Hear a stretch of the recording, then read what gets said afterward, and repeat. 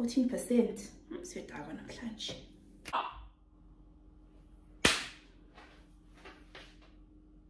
Ah, ngeke.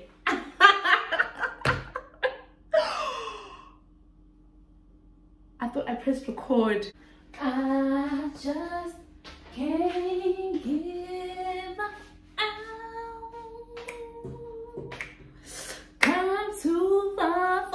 where I started from. Nobody told me the road would be there. I don't believe he brought me this far to leave me. I can't sing, but I just thought that the song would be fitting, guys. Like, through the trials and tribulations, I finally posted a video.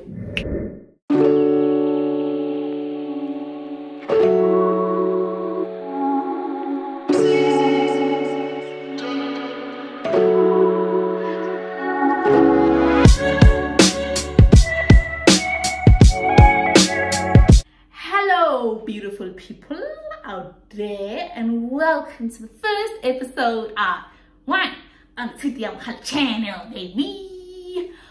I am Thuto, a final year electrical engineering student who loves wine and created this channel to educate you and me on fermented juice. So I'm not a sommelier or sommelier. I'm just a wine enthusiast, a woman who loves her wine. So please do go on Instagram where you'll find this picture right here with a questions box. Let me know what you want me to review next. And don't forget to do the famous LCS. Like, comment, and subscribe. And do click on the notification button so that you can be notified of when I post a new video. The formalities out the way, let us get right into it. So today we are going to be reviewing a wine that I used to drink during my first, I think first or second year of varsity. This was my go-to wine during my ups, my downs, my pre-drinks moment. It was that wine. And that is Nederburg's Duet, a blend of Pinotage and Shiraz, 56% Shiraz and 34% of Pinotage.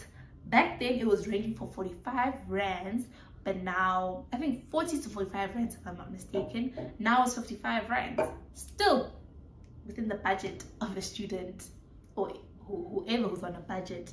So yeah, let us admire this beauty through the glass. And bear in mind that on this channel, we do not waste alcohol. We don't, you know, sip and then goggle and throw. No, we don't do that. We don't waste anything. So let's get right into it. Drinking time. So let us drink. This wine, this glass wine, I'm saying this wine, this wine glass, I used to use it drink my res days and it's still standing right here. So let's admire this beauty through the glass, do the famous swirl. This glass is very dirty. Let me take another one. Let's take another one. Do the famous, so we don't have to pour too much. Let's do the famous swirl. Obviously it's ruby red in color.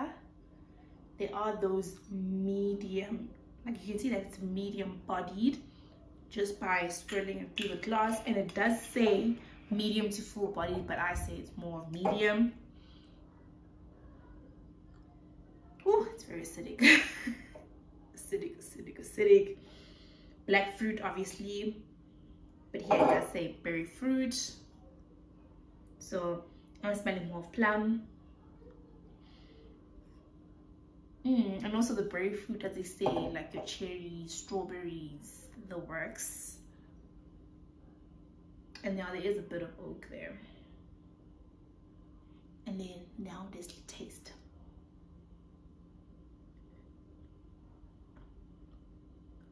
mm. it's like gives me you know like like an explosion of flavor and then just dies out quickly in fact.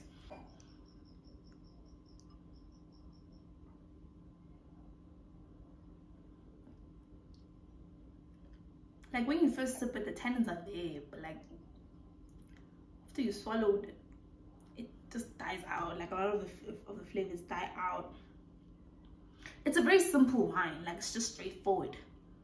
So you can have it like during the week or you can have it like if someone was offering me this glass or this wine i wouldn't mind it at all.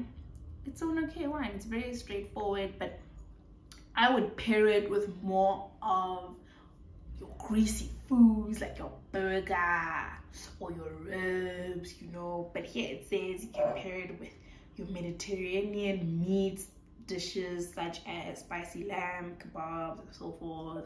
No this is the kind of wine that you drink when you're having those greasy things or maybe like during a braai I also wouldn't mind it with your like your chakalaka and your your rolls sausages the works you get me?